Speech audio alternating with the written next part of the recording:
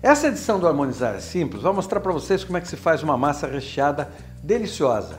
Eu vou fazer conquilhone ou conchas recheadas com presunto cru, ricota e um toque de ervas para cobrir um molho de tomate bem suculento, gostoso.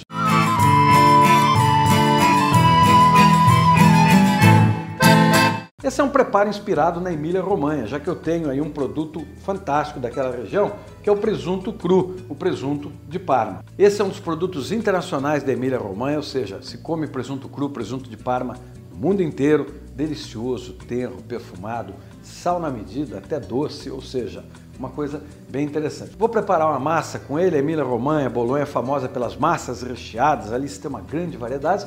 Eu vou fazer uma massa recheada, não vou preparar massa, comprei um conquiglione já pronto, vou só cozinhar, rechear e fazer o molho. É um preparo gostoso, acompanha comigo que na volta eu dou uma dica bacana de vinho para acompanhar. Vamos cozinhar. Para preparar os conquilhones de presunto de Parma, você vai precisar de 200 gramas de conquiglione ou conchas secas, você vai precisar de 150 gramas de presunto de Parma em fatias finas, 150 gramas de ricota fresca e também um punhado de salsa fresca picadinha. Você vai precisar de meia cebola picada, dois dentes de alho, um terço de xícara de azeite e 400 gramas de tomate pelado ou de polpa de tomate. Para finalizar, folhas de manjericão e 100 gramas de parmesão ralado, de preferência parmigiano reggiano, o grande queijo da Emília-Romanha. Ferva 5 litros de água salgada e coloque os conquiglione para cozinhar. Enquanto isso, aqueça o azeite numa frigideira, doure o alho a cebola e acrescente a polpa de tomate. Tempere com sal e pimenta do reino. Deixe apurar por cerca de 15 minutos. Bom, gente, está aqui, olha, já estão cozinhando os meus conquilhones ou as minhas conchas. O molho já está aqui apurando, já está tomando sabor. Agora vou preparar o recheio. Recheio à base de ricota e à base de presunto de parma. É muito simples, vou usar um pouquinho de salsa para dar frescor. Vou rechear as conchas assim que saírem e aí vou montar tudo num belo prato e levar para o forno para gratinar. Me acompanha nesse preparo, gostoso de fazer, gostoso de comer. Vamos lá. Assim que os conquilhones estiverem cozidos, coloque na água fria para cortar o cozimento. Misture a ricota, o presunto cru e as folhas de salsa fazendo o recheio. Preencha a cavidade dos conquilhones com o recheio e vá acomodando tudo num pirex. Cubra então os conquilhones com o molho do tomate pronto. Espare folhas de manjericão e o queijo ralado. Leve ao forno para gratinar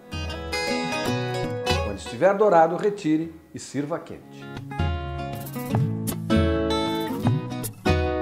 Gente, olha que bonito, que perfumado, acabou de sair do forno. A gente sente aqui o aroma do tomate, o aroma frutado do tomate, mas tem um aroma intenso, diferente, o manjericão dá perfume, tem aquela coisa bacana. Então, eu tenho aqui uma massa, uma massa recheada, inspirada nas massas recheadas de Bolonha.